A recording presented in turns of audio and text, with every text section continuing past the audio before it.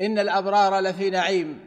نعم إنهم لفي نعيم بطاعة الله عز وجل وبالقيام بحقه وبأداء الأمانة إلى الخلق فإن ذلك مما تطيب به القلوب ويدرك به الإنسان الحياة الطيبة في دنياه وفي قبره ويوم بعثه ونشوره. اللهم اجعلنا من عبادك المتقين وحزبك المفلحين وأوليائك الصالحين.